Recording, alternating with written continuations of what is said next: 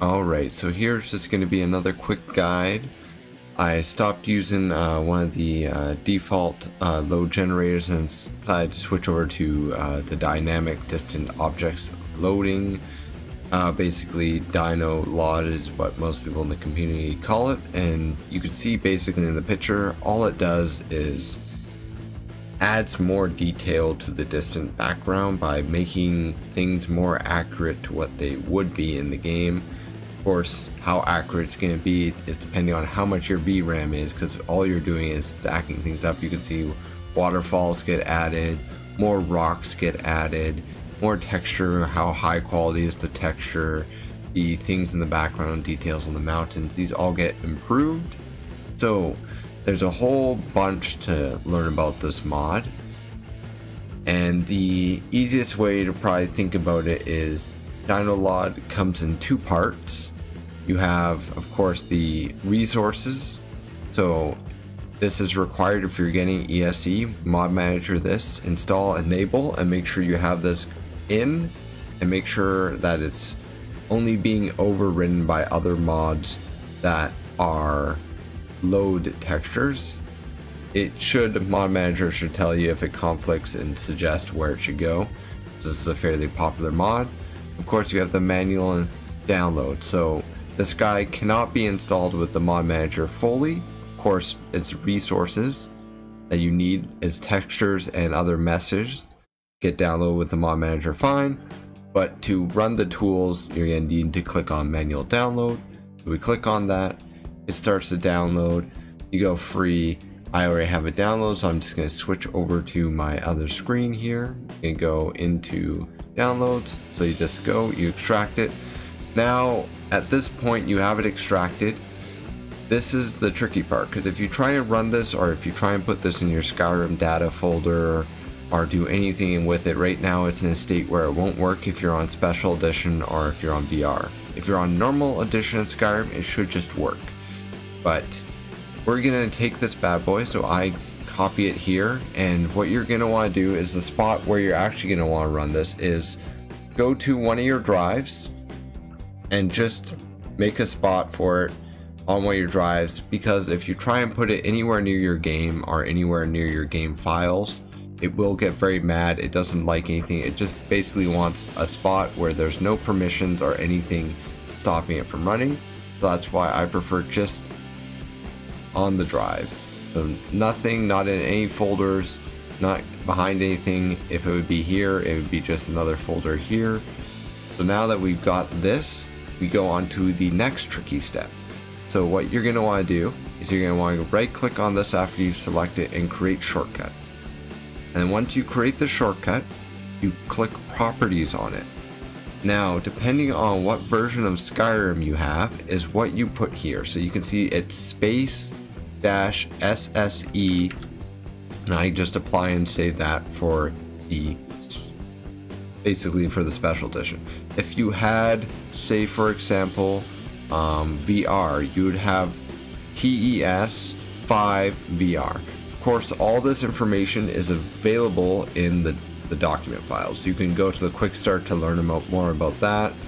You can go into the edit scripts. There's there's a lot of text to learn about this, but we're just getting this started so it's easier at the start. Of course, you're gonna want to do the same thing for TexGen. Click on it, right click, create shortcut, then left click, right click, and then on this one, properties, and then you're also going to want to add that little appendix.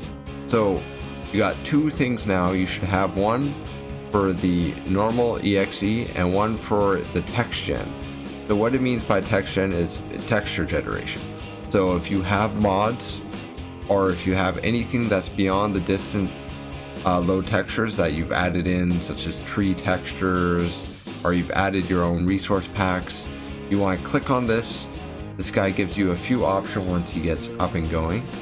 Hopefully it doesn't glitch out my audio. The Nemesis one did that, I remember. So it's going to load up all your uh, mods and all your files. Now you can see we have a few options here. A little bit tricky because the window's a bit small, but there's an option essentially from 64 all the way to 4K. So what this is dependent on, oh, this is really small, I apologize for this, is your VRAM. So VRAM is basically your RAM. Here, let me open my task manager just to explain this. So performance. So we have, you see here, I have 32 RAM. And then down on my GeForce, I have 11. So 11 plus that would bring me up to 43. I minus 6 from that, and that's the number I get to use. 27 would be about, I'd say, how much VRAM I can use because you don't want to use if you max it out and you say, hey, take all, take all of it, then your game will crash or something will go wrong. So you always want to buffer yourself. Six gigabytes is usually a good thing if you're running a higher end PC. Smaller MP, smaller computers, I'd say you probably want to max your thing out at 75% to 80%. So if you got one gigabyte, you only want to use 800 megabytes, so to say. Then, so you're gonna go in here once you figure out what you can probably fit in your memory. I just set it to 2K. Uh, you can set a few different options here.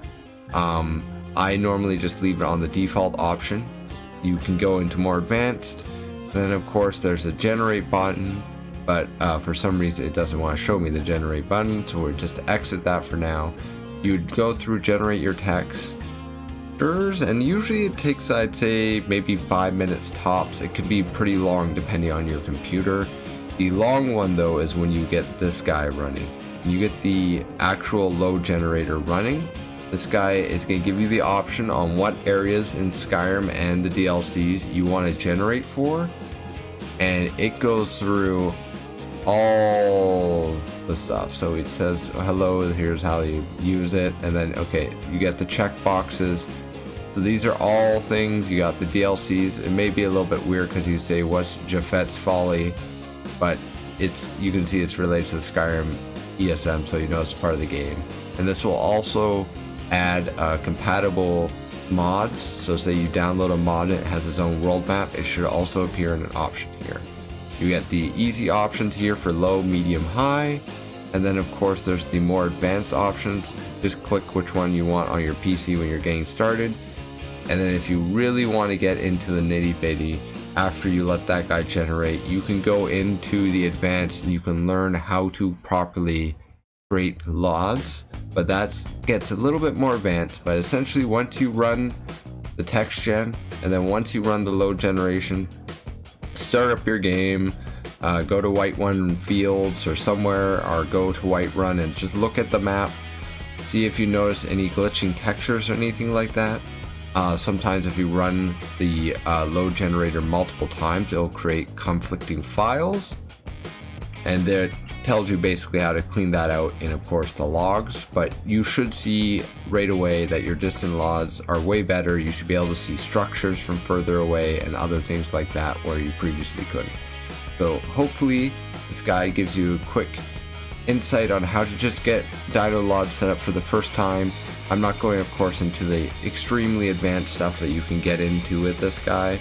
Like just going into some of this you got all these log files that you can read there's the scripts, so these are the tools that actually get run when you're running the other tools. Yep, that's that's right. And then you got all the manuals in here for different things. You got the SSE manuals, you got the Enderal manuals for the Enderal mod, you have the normal default Skyrim, and of course the VRs in their mix too. So it gets it gets crazy. So when you're first starting out, just go through, the hardest part you're going to encounter is making sure you put in this SSE if you're running on the special edition. Of course, if you're not, just TS5, and then of course TS5 VR if you're running the VR. That's the hardest trick of this. Don't just right click on this one, go properties, because as you can see, you don't get the target. And that's what you need the shortcuts for. So hopefully if I've explained everything, uh, I've told you you should put it on the drive, so don't put it anywhere but just on your main drive. You don't need to put in your Skyrim folder.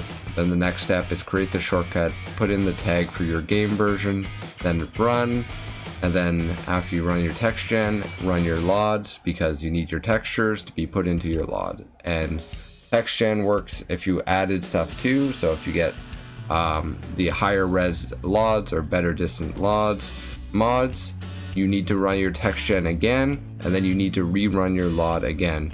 And you should be able to make multiple as long as you're going through normally, it should just replace the other textures and you shouldn't have any issues.